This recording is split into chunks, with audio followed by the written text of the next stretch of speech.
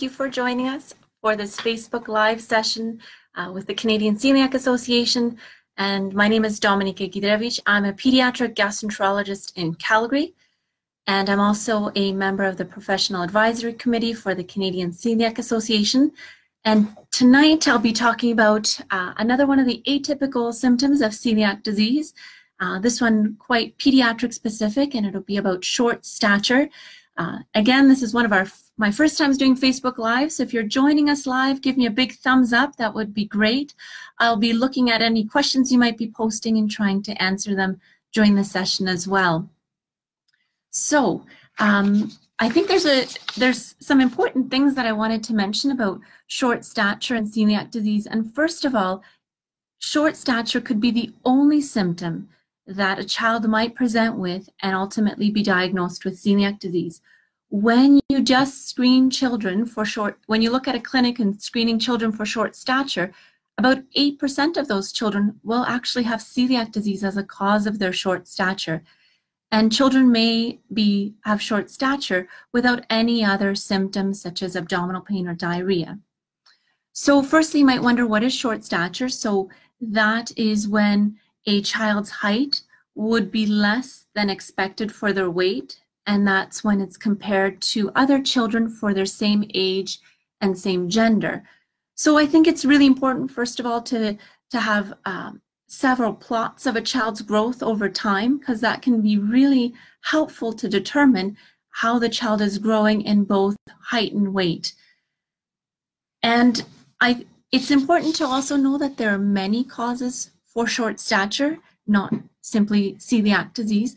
And probably one of the most common causes of short stature is actually called familial short stature. And that's when both one or both parents are shorter and the child is simply growing along their genetic potential. Another really common cause of short stature is called con constitutional so short stature. So that may be where one of the parents say, yes, I was a late bloomer as well. So those are children that um, are born at normal uh, size, then their growth slows around three to five years of age. They continue to grow along their uh, growth curve, and then have quite an accelerated growth when they go into puberty. So that's called constitutional uh, um, short stature. Then the other uh, categories include, include hormonal causes such as growth hormone deficiency. And then there's a whole group of non-endocrine causes. Uh, there's gastrointestinal causes. Of course, celiac disease is what we're talking about today. Crohn's disease would be another cause of short stature in children. Kidney diseases can cause short stature. So when there's a child who's not growing as we would expect them, there's a whole list of uh, considerations that a physician would think about and having the pattern of a child's growth over time and tracking it on a growth curve is really important to, um, to determine about the short stature. So when you look at children with newly diagnosed celiac disease, about 20 to 30% of them will have short stature. And the really good news about uh, children and newly diagnosed celiac disease is that they catch up in their growth. And about 65% of children will catch up in their growth. And I can tell you from a clinical standpoint, I usually see my patients back at three months after they've been diagnosed. And one of the first things I can tell is that they've started to gain weight again, they've started to grow in their height, even before I've repeated their celiac screen. So it's really great news in children. And one of the reasons, of course, that we want to diagnose children as soon as possible is to allow them to reach their maximal height and that they don't go undiagnosed with celiac disease for too long.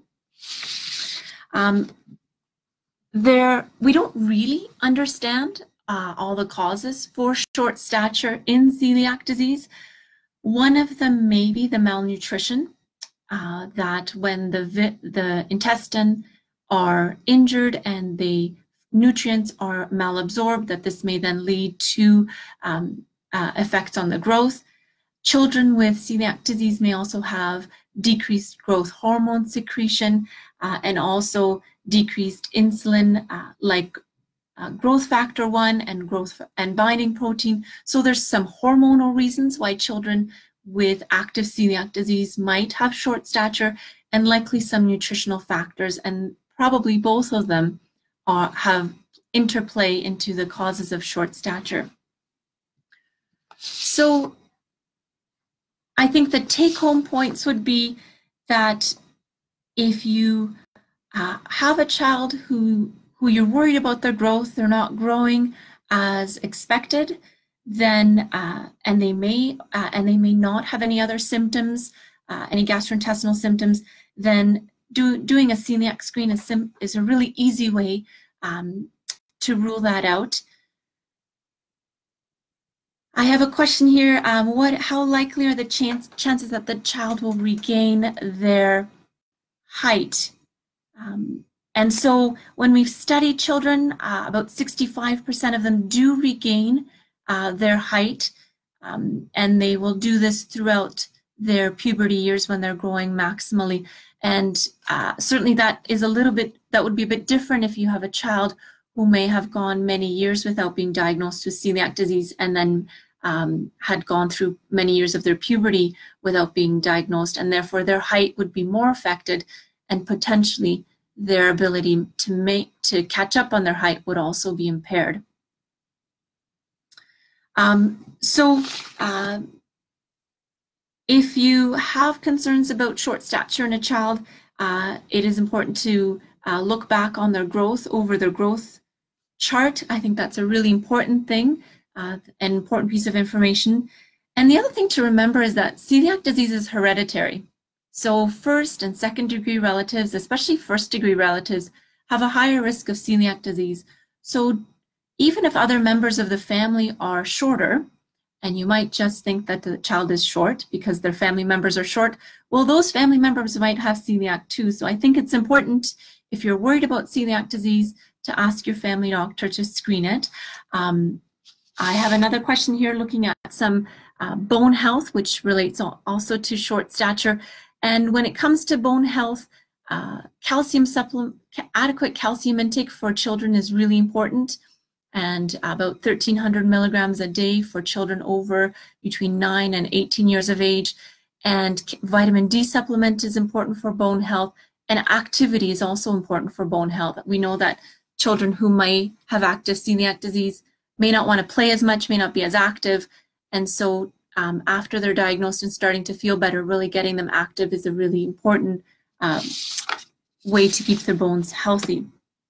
So, in summary, if you're worried about uh, short stature, uh, it could be a symptom of celiac disease. 20 to 30% of newly diagnosed children um, with celiac disease do have short stature, and about 8% of children who are just screened for short, look, investigated for short stature actually end up having celiac disease as their ultimate diagnosis. Um, I hope you found this session helpful. I'd like to thank our sponsor for today, Schär, for sponsoring this day. Um, I'm also doing a webinar next Wednesday, May the 16th, on um, covering more atypical symptoms of celiac disease and going over uh, short stature and some of the other ones uh, as well. And if you've enjoyed this session, please consider donating to the Canadian Celiac Association. The Canadian Celiac Association is the voice for the celiac community in Calgary. It is a national charitable organization. They sponsor events such as today's uh, to raise awareness for celiac disease and provide accurate information, um, as well as sponsor as well as uh, sponsor research looking for treatments and a cure. And you can find more information or make a donation at www.celiac.ca. Uh, thank you for tuning in. Have a great night.